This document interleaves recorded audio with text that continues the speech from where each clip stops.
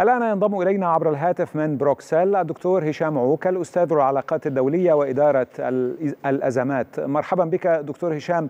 يبدو أننا سنضطر للتدرب على نطق الاسم الصعب للسيدة جوردانا.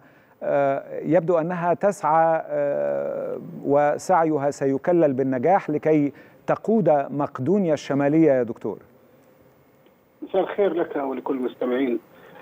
طبعا يعني مقدونيا هذا البلد يعني بموقعه الجغرافي البلقاني عاش مجموعة من يعني الاضطرابات من قبل الجار. يعني ولا ننسى إنه هذه الدولة التي جاءت على أنقاض انهيار الاتحاد اليوغوسلافي. هناك خلافات كبيرة ما بين مقدونيا واليونان. بالإضافة هناك خلافات تصب في جغرافيا على ما بين السرب وبين كوسوفو.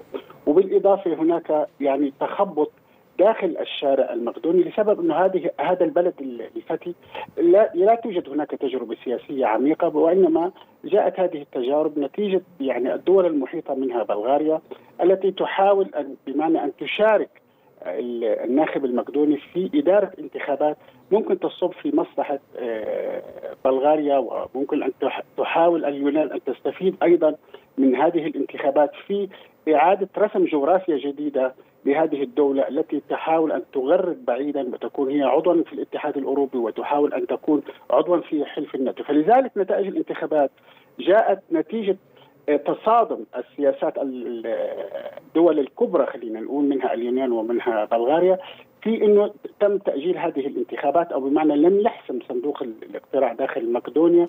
هذه النسبة ال 50% التي تؤدي بالنهاية إلى يعني فوز رئيس يقود مقدونيا إلى فترة انتخاب إلى فترة أربع سنوات. بناء على المحاصصة داخل البرلمان مم. المقدوني المقدر أن يكون هل هل فاجأك دكتور هشام تقدم جوردانا سيليانوفيسكا دافكوفا؟ طبعا لم يفاجئ بسبب لأن هناك امتداد كبير داخل حوض الاتحاد الأوروبي و خلينا نضع مسمى أنه زحف اليمين المتطرف واليمين الوسط. طبعا لا ننسى أن فاتجوفا هي بالنهاية هي مرشحة حزب يميني وسط طبعا ممكن هذا الحزب اليميني الوسط أن يكون له ارتباط عضوي مع حزب الشعب الأوروبي اسم الحزب يبدو مثيرا للريبه نعم. لمن لا يعرفه يا دكتور المنظمة الثورية الداخلية المقدونية غريب نعم, نعم. آه. نعم يعني يعني هذه تسميات خلينا نعطي إضاءة يعني إضاءة أرجوك. يعني ينشق يعني نعم هو بالنهاية حزب له امتدادات إلى الجانب الشيوعي سابقا. وكنا نعرف إنه يوغوسلافيا السابقة كانت يحكمها الحزب الشيوعي اليوغوسلافي وهناك في يعني ما زالت القاعدة الفكرية لهذا الحزب داخل. ولا ننسى إنه فتكوفا هي مرأة ليست صغيرة في السن هي 71 عام. وخلفية هذه المرأة هي خلفية ماركسية اشتراكية. فلذلك فلذلك لا أرى إنه إنه يعني أي استغراب إنه تكون آه الانتخابات وصلت إلى نسبة بسيطة فارق يعني فارق التصويت بينهما وصل إلى 1% آه لذلك إنه تم تأجيل هذه الانتخابات أخيرا دكتور هشام للأسف الوقت حاكم نعم. وانتهى تقريبا ما هي أحاسيسك بشأن انتخابات الإعادة؟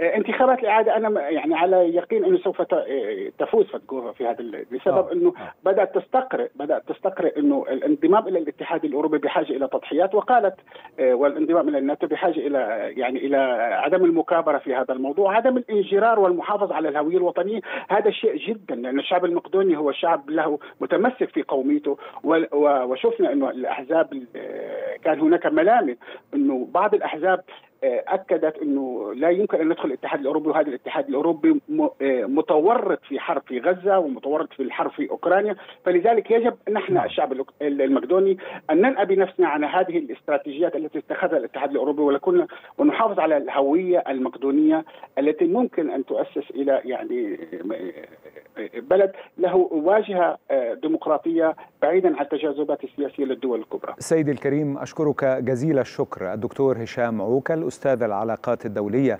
الذي شرفنا من بروكسل.